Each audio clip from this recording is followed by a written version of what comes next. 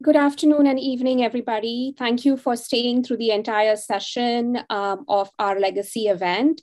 We are in the in the process of closing for the afternoon and evening. And uh, to give closing remarks, we have Dr. Kelley Cormier um, joining us. Um, Kelley is the Food Safety Division Chief within the Center for Nutrition at USAID's Bureau for Resilience and Food Security, where she leads a team that addresses food safety risks in food systems through technical assistance and global leadership uh, in support of the US uh, government's global food security strategy and USAID's multi-sectoral nutrition strategy. Kelley is a champion of gender integration and knowledge management with a broad, within a broad, safe food systems portfolio. And for eight years, she's worked with the Bureau for Resilience and Food Security as an agricultural economist and as a division chief for inclusive market development.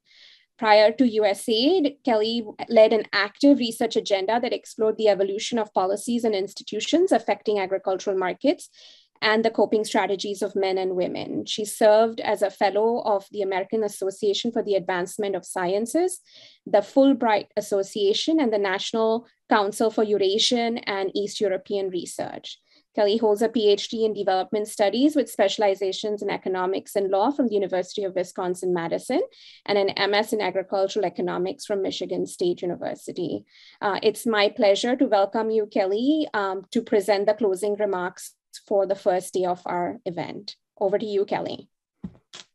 Thank you so much, Shibani. It's it is my pleasure to be joining you this afternoon to wrap up the first day of very productive and dynamic discussions and it's clear to me that there's also a lot of pleasure among the presenters to have reached this 10 year milestone of learning and evidence generation and to share the results with all of us. We can see that.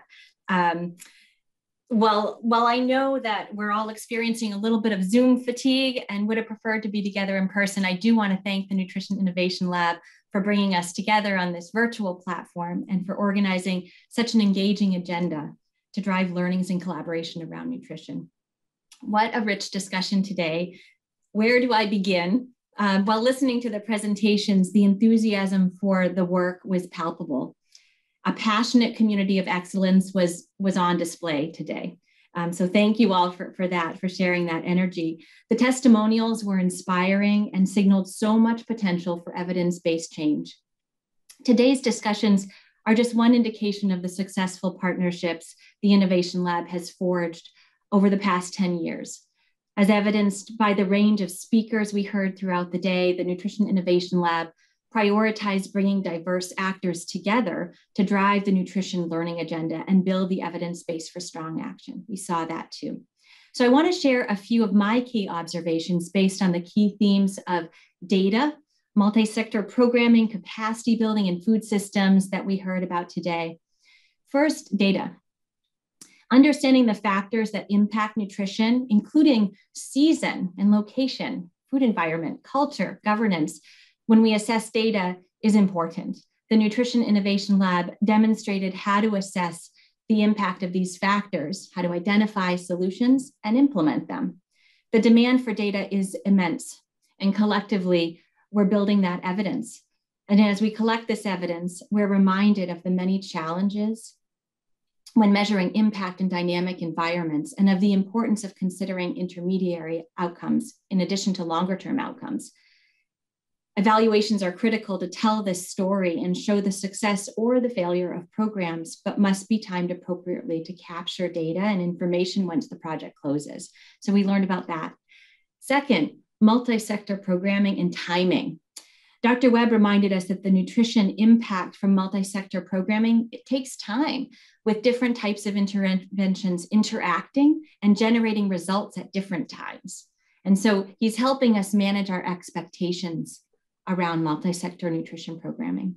We heard a compelling example of how sustained research efforts like the Nutrition Innovation Lab provides the time to test emerging hypotheses early and in different contexts to explore the puzzles that emerge along the way. Um, multi-sectoral nutrition programs such as the ones in Uganda, um, such as the Uganda Community Connector showed positive results in terms of maternal and child diet. However, such programs may need longer to show positive impacts on maternal, maternal and child nutrition outcomes, such as stunting. So that was a really compelling example. Uh, during the many presentations on the linkages between agriculture and nutrition that were on display today, uh, we recognize the complexity of pathways from food systems to diet quality, while also highlighting the need for us to hone in on the role of food processing, income generation schemes to increase market access, affordability of prices, and governance complexity. Uh, ecosystem functioning was another important area of research that provided insights into resilience and climate shocks. Very contemporary uh, themes for today. People's experiences trying to use markets to stabilize the natural world were different depending on the food group. And we also learned that these insights can inform timing of multi sector nutrition interventions um, and should consider the different population groups. A third theme building capacity for policy change. Increased capacity and the right kinds of capacity are critical to moving from evidence generation to policy change.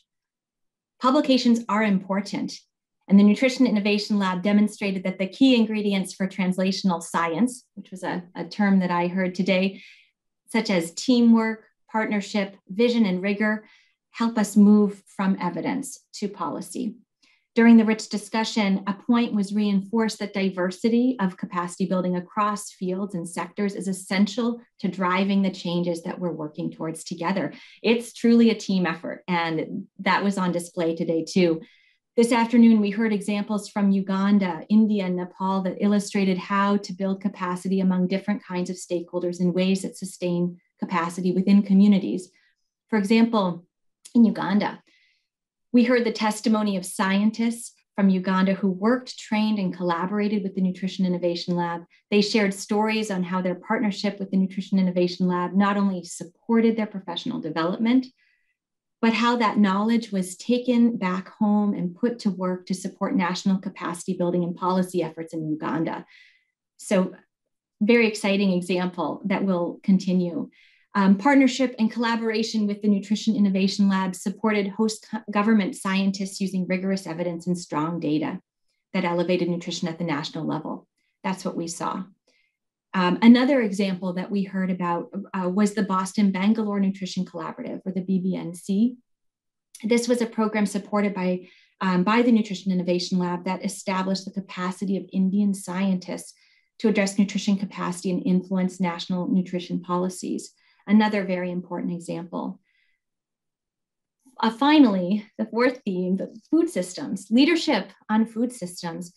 We heard at the beginning of the day from Dr. Tillstead, who shared reflections on the value of scientific uh, contribution. She acknowledged the pivotal role the lab played in elevating thinking about diverse diet quality and diversity and how that advanced our thinking beyond the need for adequate calories.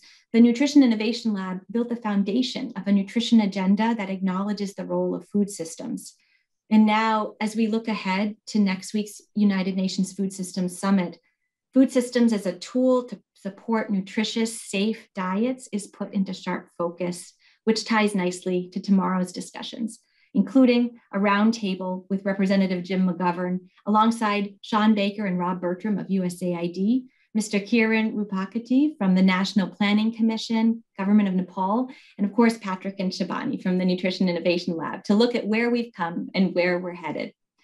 I'm confident that tomorrow's conversation will prove to be just as fruitful as today's and will provide us all with much needed motivation to keep pressing forward toward our nutrition goals Thank you again for your active participation today, and we look forward to seeing you back here tomorrow.